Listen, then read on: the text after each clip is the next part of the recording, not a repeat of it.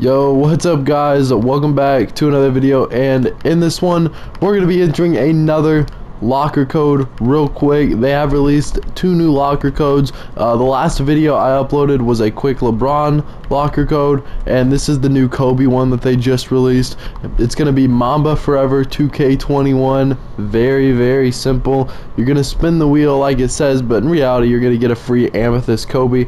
It's not that big a deal. It's not a very good card. You're not really gonna use it but I mean if you don't have Kobe in my team why not go ahead and pick this card up real quick? I mean it's just a quick card to have. You know, you, you, want a Kobe in your collection. You always want a Kobe. Come on now, it's pretty obvious that you want a Kobe.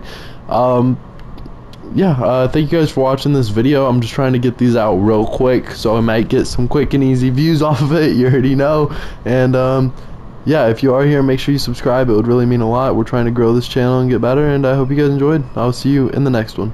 Peace out.